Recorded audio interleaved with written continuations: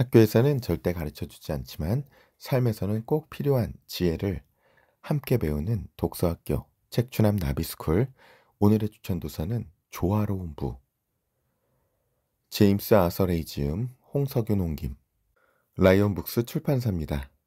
자, 오늘은 감정은 움직이는 에너지 굉장히 중요한 개념인데요. 자, 들어가 보도록 하겠습니다. 감정 없이 어둠을 빛으로 바꾸거나 무관심을 활동으로 바꾸는 것은 불가능하다. 칼융, 감정이란 진정 조화로운 부를 얻으려면 생각과 믿음을 통제할 뿐만 아니라 감정도 조절할 수 있어야 한다. 감정을 능동적으로 이용하고 지시하느냐 아니면 감정에 의해 조종되고 지시받느냐가 중요하다. 우리는 감정의 지배를 받는 사람들을 수없이 많이 알고 있다. 그런 사람들은 마치 제멋대로 행동하는 야생 멧돼지와 같다. 감정의 기복이 매우 심하기 때문이다. 감정은 인간 경험의 일부이다. 가끔 화가 날 때가 있는가? 그것은 인간 경험의 일부다. 하지만 때와 장소가 있다. 식료품점에 줄 서 있을 때 화를 내선 안 된다. 당신이 이 세상에서 놀라운 창조자가 되려면 생각이 행동으로 이어져야 한다. 당신이 육체적으로 살아있는 한 이것은 불가피한 게임이다. 감정, 이모션이라는 단어의 대부분은 움직임, 모션이라는 단어가 차지하고 있다. 이는 감정이 움직이는 에너지이기 때문이다. 여러분, 어, 돈도 에너지로 바라보고 감정도 에너지로 바라보고 우주 만물을 에너지로 바라볼 수 있는 이 양자역학적 어, 관점을 우리가 좀 뭐라 그럴까 가지도록 노력해 보는 게 굉장히 중요하죠. 그러면 에너지의 특징, 에너지의 흐름, 에너지의 질, 에너지의 양, 에너지의 방향 이런 것들을 가지고 우리가 정말 몰입하고 그 에너지의 흐름에 따라 사는 삶. 어, 책추남은 노대 도덕경의 상선약수라는 개념도 이 에너지의 흐름과 관련이 있지 않을까 혼자 그렇게 개똥철학으로 생각해 보고 있죠. 네. 아, 그렇게 그래도 개똥철학이어도 자신만의 관점을 가지고 통합해 나가는 것은 굉장히 중요하다고 생각이 듭니다. 우리 나비님들도 나비님들만의 주관과 관점을 가지고 어, 책을 볼 수 있으면 좋겠다. 이렇게 말씀드리고 있죠. 그 색출함이 그렇게 말씀드리죠. 그 책이 어떤 책이든 간에 자신만의 필터링으로 바라보시면 좋겠다고. 그래서 색출함은 첫 번째, 인류의 역사상 불변한 이야기를 하고 있는가. 두 번째, 다양한 문화권의 보편적인 이야기를 하고 있는가. 세 번째, 그 내용이 내 안의 내적 자유함을 증가시켜 주는가. 네 번째, 그것이 내게 내적 평안함을 증가시켜 주는가. 마지막으로 이것이 내게 희망을 증가시켜 주는가. 이런 어떤 필터링을 가지고 책을 바라보거든요. 아, 그렇게 됐을 때 어떤 저자가 어떤 문제가 있어도 뭐 특히 이제 대표적인 인물이 오쇼 같은 인물이죠. 아, 그가 했던 또 주옥 같은 이야기들이 분명히 있거든요. 그러면 그 목욕물에서 더러워진 목욕물만 싹 버리고 깨끗해진 아가만 이렇게 좀 건져 올리는 것처럼 아, 자신만의 기준을 가지고 필요한 내용만 잘 이렇게 채로 쳐서 어, 좋은 것만 이렇게 쭉 받아들일 수 있는 그런 지혜가 필요하다고 생각이 듭니다. 아마 이 책도 저자에 관해서 우리 나비님들 답변을 보면 이슈가 없지 않았던 것 같은데요. 아, 그럼에도 불구하고 좋은 내용들은 우리가 그 아닌 것들은 버리고 좋은 내용들은 잘 취합하는 어, 그런 지혜로 책을 읽어보면 좋겠다고 생각을 합니다.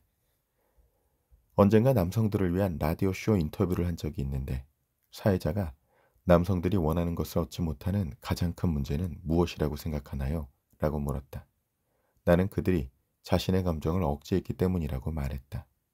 그것은 그들의 잘못은 아니지만 어쨌든 그들 자신의 책임이다. 모든 것은 당신 자신의 책임이다. 아버지는 항상 내게 이렇게 말씀하셨다. 강한 남성도 울 때가 있는 법이란다. 이례적인 말씀이셨지만 내게는 참 다행이었다. 아마도 당신은 사나이라면 울음을 참아야 한다고 배웠을 것이다. 당신이 지붕에서 떨어져 머리를 다쳤더라도 사내답게 참아야 한다든가 계집애 같이 울면 안 되라는 말을 들었을 것이다. 여성들도 본성을 억제하도록 프로그램되어 있기는 마찬가지다.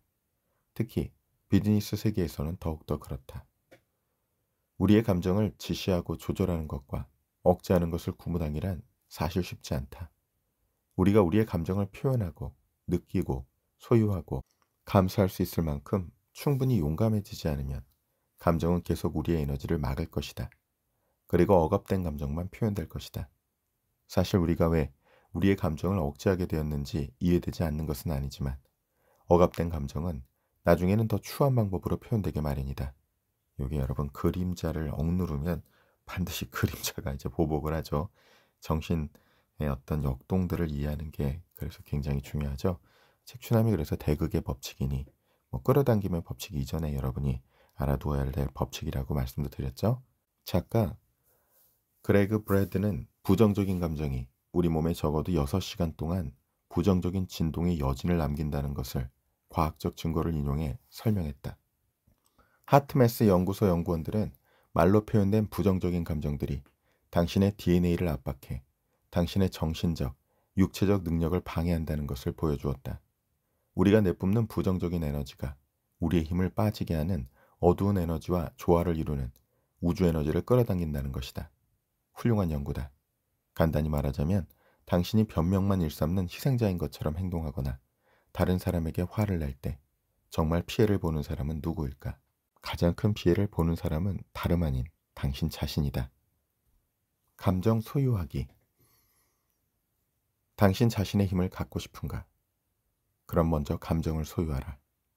그 첫 단계는 당신의 인생에서 맞이하게 되는 경험이 외부 환경과는 무관하다는 점을 인식하는 것이다. 우리가 인생에서 맞닥뜨리는 모든 경험은 아무런 의미도 갖고 있지 않다. 당신이 그것에 부여하는 의미 외에는 말이다. 자, 조세 캠벨은 이렇게 얘기하죠. 인생에 의미 따위란 없다. 갖다 붙이기 나름이다. 인생에서 중요한 것은 생생하게 살아있음을 경험하는 것이다. 자, 너무 심한 소리처럼 들리는가?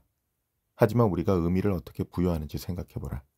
대부분의 경우 우리의 문화와 주변 사람들을 통해 무엇이 중요하고 무엇이 중요하지 않은지를 배운다. 진실은 그 모든 것이 주관적이라는 것이다. 어떤 사람들은 긴 금발머리와 다이아몬드 반지가 아름다움을 의미한다고 배운다. 그러나 다른 문화권에서는 짧은 곱슬머리, 넓게 잡아당긴 입술, 길게 늘어뜨린 귓볼을 매력의 기준이라고 생각한다. 또 어떤 사람들은 사람의 죽음이 애도를 요구하는 슬픈 상황을 의미한다고 배우고 다른 사람들은 죽음을 더 높은 힘과 제외하는 기쁜 일이라고 배우며 잘한다. 당신이 바다에 있는데 수영을 못한다고 생각해보자. 당신 뒤로 거대한 파도가 밀려온다. 어떤 생각이 드는가? 신나고 재미있는 파도라는 생각이 들겠는가? 천만의 말씀이다. 무섭다는 생각밖에 들지 않을 것이다. 이제 당신이 전문 서퍼라고 생각해보자. 그리고 역시 당신 뒤로 똑같은 파도가 밀려온다. 무슨 생각이 드는가? 멋진 파도야.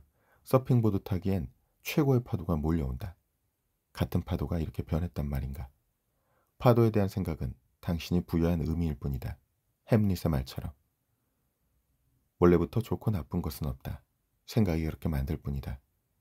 이에 관한 21세기식 사고를 알고 싶다면 객관적인 현실은 존재하지 않는다는 코펜하겐 해석을 놓고 격렬한 논쟁을 벌인 양자 물리학자들을 생각해보라. 자, 이거는 주석으로 1927년 벨기에 브리셀 솔베이 회의에서 29명의 물리학자가 양자역학에 대한 치열한 경론을 벌인 적이 있다고 합니다. 이 해석은 밖으로 보이는 것은 모두 내면에서 나온 것이다라는 세상에서 가장 위대한 과학적 사고방식이다. 외부 세계는 우리 내면 세계의 반영이라는 것이다. 나는 당신의 기존의 믿음에 도전하라고 촉구한다. 그래야만 우리 믿음은 우리가 허락하는 만큼만 진짜라는 사실을 이해할 수 있기 때문이다. 감정도 마찬가지다. 우리는 감정에 지배당할 수밖에 없는 것처럼 보이지만 그것은 단지 감정이 당신에게 그런 의미를 부여하도록 허락했기 때문이다. 친구가 당신에게 다소 무례한 말을 하더라도 당신은 그 말을 그저 재미있는 농담으로 받아들인 적이 있을 것이다. 하지만 모르는 사람이 당신에게 똑같은 말을 했다면 그 말은 싸움을 거는 말로 들릴 수 있다. 아무도 당신을 화나게 만들 수 없다. 당신을 화나게 만드는 것은 당신 자신뿐이다. 조화로운 분은 그저 반응하는 것이 아니라 감정을 조절하고 선택해서 행동하는 것을 의미한다. 당신의 감정을 선택하는 것과 억제하는 것은 분명히 다르다는 것을 명심하라. 하지만 내가 여기서 말하려는 것은 그것이 다가 아니다. 인생에서 만나는 일이 당신이 그것에 부여하는 것 외에 어떤 다른 의미도 없다면 당신의 인생 경험은 외부 사건과는 아무런 관련이 없고 당신의 내적 경험과 당신이 그 사건에 의미를 부여하는 방식과만 관련이 있다. 그것은 사물을 해석하는 방식에 관한 문제이며 이는 보다 깊은 수준의 책임이다. 그러나 당신이 하는 일이 잘못되었을 때 당신이 책임을 져야 한다는 말은 당신이 나쁘거나 잘못되었다는 것을 의미하는 것은 아니다. 당신이 하는 일이 당신이 누구인지를 말해주는 것은 아니다. 당신은 훨씬 그 이상이다. 그 말의 진정한 의미는 당신이 앞으로 나아가기 위해 필요한 것을 찾을 책임이 당신에게 있다는 뜻이다. 당신이 남에게 책임을 전가하면 당신의 길은 막히게 되고 당신의 지적 감정적 바퀴는 앞으로 나아가지 못하고 진흙 속에서 헛바퀴를 돌며 제자리에 머물 것이다. 감정에 솔직해져라. 이제 솔직한 감정, 즉 숙련된 감정에 대해 말하고자 한다. 숙련된 감정의 열쇠는 자신에게 솔직한 것이다. 지금은 그 개념이 다소 낯설게 느껴질 수도 있지만 작은 것부터 시작하라. 아침 식사를 할 때 당신은 스스로 먹고 싶은 것을 먹는가? 아니면 그저 아내를 편하고 행복하게 하려고 아내가 만들어주는 맛없는 시리얼을 그냥 불평하지 않고 먹는가? 또는 이기적으로 굴면 안 된다고 배웠기 때문에 혼자 시간을 갖는 것을 미루고 있지는 않은가? 언제 당신만의 시간을 갖는 것이 좋을까? 아내와 함께 잠자리에 들어야 한다는 생각 때문에 억지로 잠자리에 드는가? 운명이 당신의 길을 잡아줄 때까지 기다리지 마라. 이웃이 안부를 물었을 때 거짓말을 하는 자신을 발견한다면 좀 솔직해져도 좋다. 오늘 좀 힘든 하루를 보내고 있는데 걱정해줘서 고마워요. 하지만 난 잘 이겨내고 있습니다. 사람들이 당신의 솔직함을 인정할 수도 있고 그렇지 않을 수도 있다. 출소한 그들이 당신에 대해 생각하게 할 것이다. 어려운 시기를 참고 지내는 것과 초월하는 것과는 큰 차이가 있다. 그것은 연료가 떨어진 자동차에 기름을 채우느냐 아니면 빈 탱크로 계속 달리느냐의 차이와 같다. 표현되지 않은 감정은 훗날 더 추한 방식으로 표출된다. 친구들과 집에서 아침을 먹고 있었는데 우리 집 화장실이 새는 바람에 집 전체가 물에 잠기는 아주 특별한 사건이 일어났다. 우리는 수리공을 기다리다가 그가 제때 오지 않아 빨리 나가서 점심을 먹고 오기로 했다. 그런데 반 블록쯤 갔을 때 타이어가 펑크 났다는 걸 알았다. 정말이지 일이 잘 안 풀리는 날이 있다. 하지만 난 스스로에게 물었다. 좋아, 이 일이 내게 어떤 도움이 될까? 그 순간 이 사건이 내가 최근 몇 년 동안 얼마나 성장했는지를 자각하게 해주는 사건이 될 수 있다는 생각이 들었다. 최근 몇 년 동안 나는 그야말로 매우 예민한 상태였다. 오늘의 이 사건이 그때 일어났다면 나는 즉시 불같이 화를 내고는 한참 지나서야 후회했을 것이다. 그런 감정들이 내 인생에 전혀 도움이 되지 않았을 것은 불보듯 뻔한 일이다. 그러나 그날 친구들은 내가 화내지 않았다는 것이 믿기지 않는다는 눈치였다. 한 친구가 물었다. 이봐, 감정을 분출해야 하는 거 아니야? 분출하지 않고 마음에 담아두는 것이 건강에 더 좋지 않다고. 초월과 억압 사이에는 큰 차이가 있다. 예를 들어 더러운 운동 양말과 속옷 한 벌을 체육관 사물 안에 넣고 1년 동안 떠났다가 돌아오면 그 빨래거리가 저절로 세탁됐을까? 천만에 악취만 진동할 것이다. 아시다시피 억압된 것은 나중에는 더 추한 방식으로 표출된다. 여러분 이것 때문에 꼭 그림자를 이해하고 그림자를 다루는 법을 배워야죠. 억압된 당신의 수명을 단축하고 몸의 독성 에너지를 저장한다. 몸에서 나오는 파동을 떨어뜨리는 가장 빠른 방법이 부정적으로 반응하는 것이다. 당신의 몸이 추한 감정을 발산하면 파동장이 크게 떨어진다. 진동수, 파동수 떨어지는 거죠. 주차장에서 당신이 주차하려는데 누군가가 잽싸게 먼저 그 자리에 들어왔을 때 화를 내거나 동료의 승진에 질투하거나 할 때 등등 사랑, 감사, 인정, 기쁨, 영감, 열정과 같은 상태에 있을 때 더 높은 진동이 나타나고 그럼으로써 더 건강한 삶을 더 오래 누릴 수 있다. 그러니 당신의 감정을 분노로 채우거나 터뜨리지 마라. 심호흡을 한 다음 이것이 내게 어떤 도움이 되는가? 이 경험을 통해 어떻게 성장할 것인가? 어떻게 하면 이 경험을 미래에 이익이 되도록 사용할 것인가? 라는 질문을 자신에게 하면서 그런 상황을 초월하라. 양자 물리학은 음전화를 띠는 모든 전자는 양전화를 띠는 양전자를 짝으로 갖게 되어 있다고 말한다. 비전문가의 관점에서 그 말은 어떤 것이 정말로 끔찍하게 보인다면 거기에는 반드시 놀랄 만큼 좋은 무언가가 함께 있다는 것을 의미한다. 틀림없이 놀라운 그 무엇이 거기에 있다. 그것이 과학의 법칙이다. 난 아버지가 1960년대 커스컷이라는 회사의 소유주인 글렌 터너라는 사람에 관해 이야기해 주었던 것이 생각난다. 어느 날 글렌이 집에 돌아와 보니 아내가 눈물을 흘리며 바닥에 앉아 있었다. 그녀는 눈물로 뒤범벅된 눈으로 글렌을 올려다보며 울부짖었다. 그들이 와서 우리 가구들을 모두 압류했어요. 글렌이 대답했다. 잘 됐군. 이제 더 돈을 갚지 않아도 될 테니까. 최근 영화배우 마이클 폭스는 파킨슨병이 그의 인생에 어떤 영향을 미쳤는지에 대해 인터뷰를 하면서 자신의 감정을 이렇게 표현했다. 그것은 내게 선물이었죠. 병을 앓으면서 이전에 배우지 못한 것을 배우게 되었고, 이전에 경험하지 못한 것도 경험하게 되었으며, 게다가 더 많은 것을 베풀 수 있게 되었습니다. 나는 글렌이나 마이클 같은 사람들이 양자 물리학이나 양극성의 법칙을 알고 있었는지는 모르지만 적어도 자신이 처한 상황에서 그들은 달인의 경지를 보여주었다. 내 경험상으로도 우리의 삶의 상황을 더 강력하고 더 생산적으로 다루는 데에는 우리를 제한하는 무의식의 감정을 완전히 풀어버리는 것만큼 중요한 것이 없다. 내면의 게임. 당신에게 감정을 통제할 수 있는 능력이 있다는 것을 이해하면 경험의 질, 결과의 질, 그리고 삶의 질을 바꿀 수 있는 엄청난 힘을 갖게 된다. 언제든지 화가 나거나 당황스러운 일이 생길 때마다 잠시 멈추고 스스로에게 한 가지 중요한 질문을 해보라. 이런 감정적 반응을 하는 내가 어떻게 보일까? 다시 말해서 지금 이 상황에서 이런 감정을 조절할 수 있으려면 나는 어떤 믿음을 가져야 할 것인가? 당신은 다른 사람들을 통제할 수 없다는 점을 명심하라. 당신은 자신과 자신의 경험만을 통제할 수 있을 뿐이다. 당신은 자신만의 의미를 창조할 수 있다. 많은 사람이 이 새로운 질문을 배우고 사용함으로써 자신들의 삶의 질을 완전히 변화시켰다고 증언하고 있다. 좋은 진동.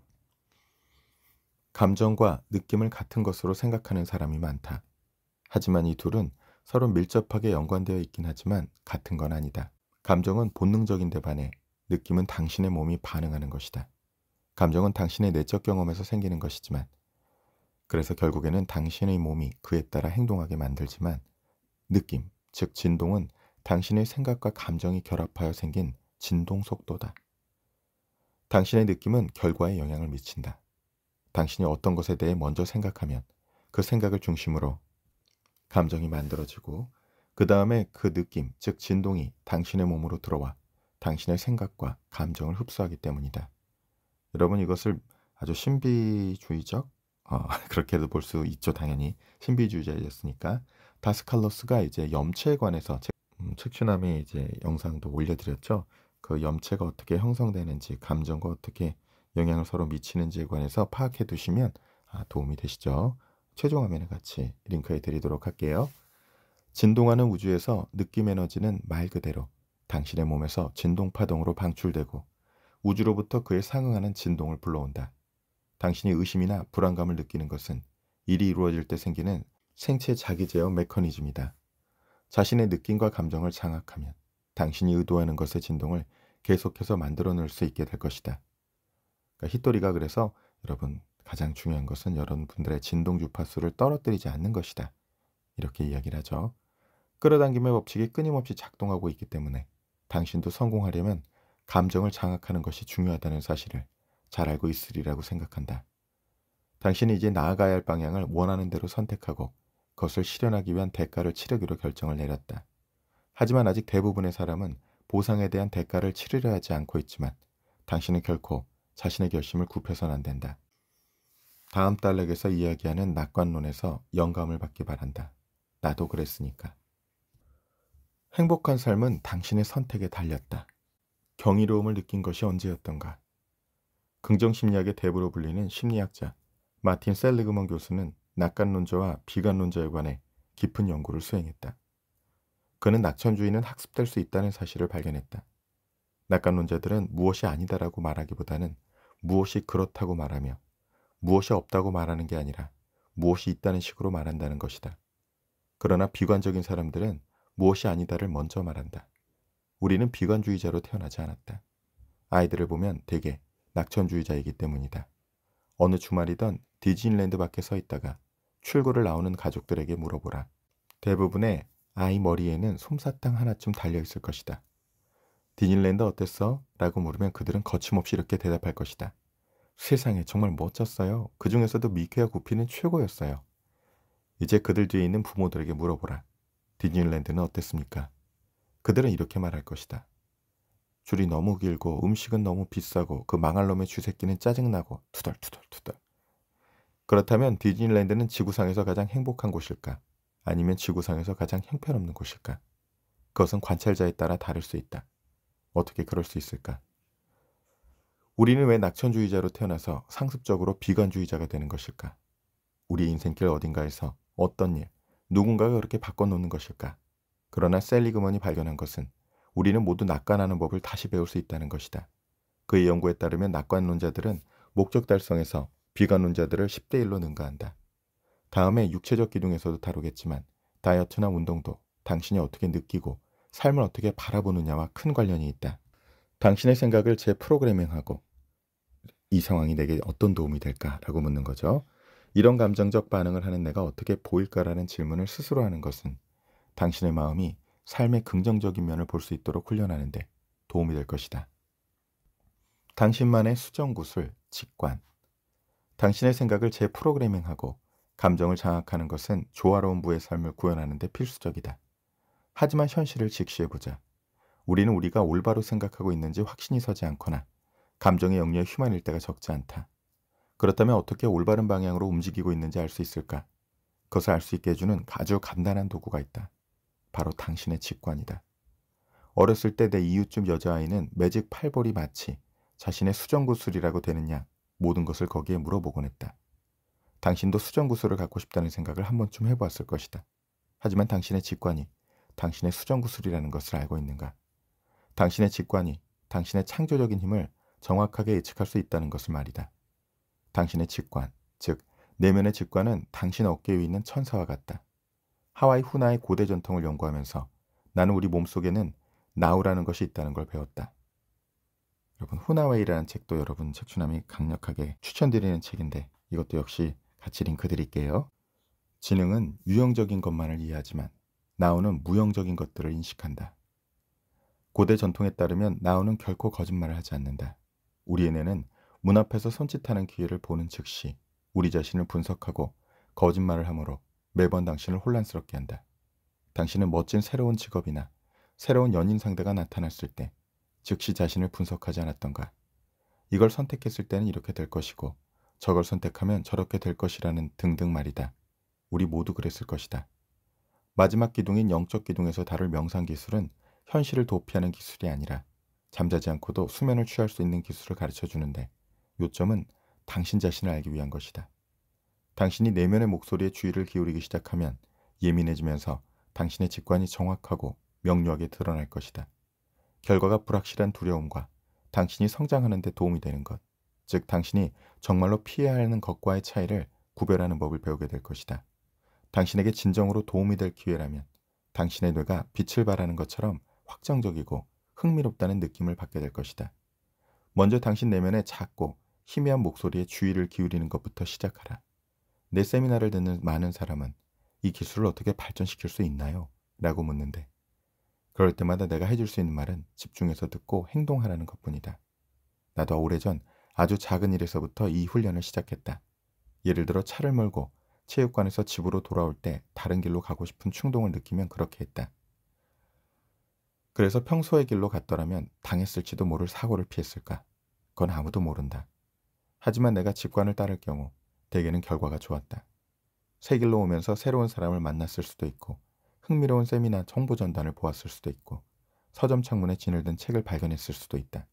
나는 그것을 내게 말을 거는 진이, 알라딘의 진이라는 거죠. 즉, 나의 높은 자아라고 생각하게 되었다. 내가 나의 충동을 따랐는데 결과가 그다지 좋지 않은 것으로 밝혀졌을 때는 내가 직관이라고 착각한 감정적 반응을 따랐다는 것을 알게 되었다. 난 일기장에 그 미세한 차이를 계속 기록했다. 당신도 자신의 직관을 따르고 있는가? 그렇기를 바란다. 나는 꾸준한 연습을 통해 내 생리적 반응, 내면의 시각적 이미지 등 내면 깊숙한 곳에서 느껴지는 진동을 모두 기록하며 이해하기 위해 노력했다. 그러자 오래지 않아 직관과 감정적 반응의 차이를 구분할 수 있게 되었다. 이제 나는 일부 사람들이 직관을 두 번째 시야라고 부르는 이유를 이해한다. 그것은 눈으로 보는 것과 눈을 통해서 보는 것의 차이다. 자, 영어는 seeing with the eyes 이거하고 seeing through the eyes 요두개 with와 through의 차이죠. 눈으로 보는 것은 생리적인 행동이다. 하지만 당신이 눈을 통해서 볼 때 비로소 자신이 원하는 외적 결과를 창조할 수 있는 내면의 비전을 개발하게 된다. 직관을 발달시키는 데는 시간이 좀 걸리지만 일단 시작하면 숙달될 수 있다. 예를 들어 나는 지난 몇 년간 부동산 투자에 큰 성공을 거두었는데 사실 나는 부동산을 공부한 적이 없다. 그저 어떤 장소에 들어서면 느낌이 왔다. 그 느낌이 오르면 옳다는 것을 알았고 틀리면 틀렸다는 것을 알았다. 그것도 아주 빨리 알 수 있었다. 느낌은 묘사하기 어렵고 사람마다 다르지만 느낌은 진동이기 때문에 당신은 그것을 몸 안에서 경험할 수 있다. 사람들은 그 느낌을 끌어당김, 고요한 작은 목소리 또는 시각적 강화라고 부른다. 당신 내면이 뭔가를 알고 있다는 징후를 인지하라. 직관에 집중하고 그것을 따르게 되면 당신은 직관이 말하는 것에 귀를 기울이기 시작하며 그것이 가라고 하면 그 말대로 가게 된다. 비록 그것이 비논리적으로 들릴지라도 말이다. 사실 대부분 비논리적이기도 하다. 아시다시피 논리란 의식의 마음과 지성의 한 부분이다. 그러나 직관은 당신이 운명적인 존재가 되도록 도전하게 만드는 당신의 높은 자, 즉 당신이 끌어당긴 미래다. 직관을 따르는 것은 감정, 즉 움직이는 에너지를 느끼고 그것을 몸을 통해 행동으로 옮기는 것이다. 멋지네요. 다시 한번 직관을 따르는 것은 움직이는 에너지를 느끼고 그것을 몸을 통해 행동으로 옮기는 것이다. 감정은 몸을 움직여 행동하게 만드는데 이것이 중요한 이유는 재차 강조하지만 우주가 속도를 좋아하기 때문이다. 고대 신비학교의 한 가르침처럼 무엇을 결심하던 그것을 빨리 하라. 오늘 할 수 있는 일은 내일까지 남겨두지 마라. 히토리가 자신이 알게 된 것은 정말 빠르게 행동으로 옮긴다고 얘기하죠. 자신의 급한 성격을 그렇게 재능으로 활용하는 법이라고 이야기도 하고요. 당신이 오늘 해야 할 일은 무엇인가? 당신의 목표와 방향을 명확히 하고 과감하게 행동하라. 운명은 과감한 사람을 좋아한다.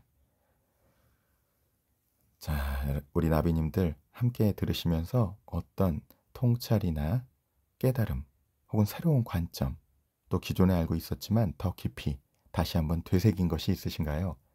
아, 그런 내용이 있으면 댓글에 함께 남겨주시면요. 책추남이 답변은 다 못 드려도 함께 보고 있으니까 여러분, 여러분의 생각, 우리 나비님들의 생각 함께 들려주세요. 책추남 나비스쿨은 손안의 책 한 권이 일으키는 나비 효과를 믿습니다. 애벌레가 나비로 날아오르는 책추남 나비스쿨 설립을 위해 좋아요, 구독하기, 알림 설정, 댓글과 슈퍼땡스로 추천도서 소장으로 함께 해주시고요. 이 영상 정말 도움이 되셨으면 주변에 도움이 될 만한 분들 세 분에게만 함께 선물로 공유해 주세요. 그럼 그 세 분이 다음 세 분에게, 다음 세 분에게 그렇게 선물로 공유해 나갈 때 더 많은 애벌레들이 더 많은 나비로 날아올라 이 세상의 아름다운 꽃들로 만발하는 책추남 나비스쿨의 비전을 함께 현실화하시는 첫걸음이 되실 것입니다. 들으면 들을수록 운이 좋아지고 나누면 나눌수록 행복해지는 책추남 TV. 오늘도 애벌레에서 나비로 비상하는 여러분의 날갯짓이 그 누군가에게는 멋진 행운의 나비 효과를 일으키는 행복한 하루 되시기 바랍니다. 우리 나비님들에게 좋은 일이 눈사태처럼 몰려오고 있답니다.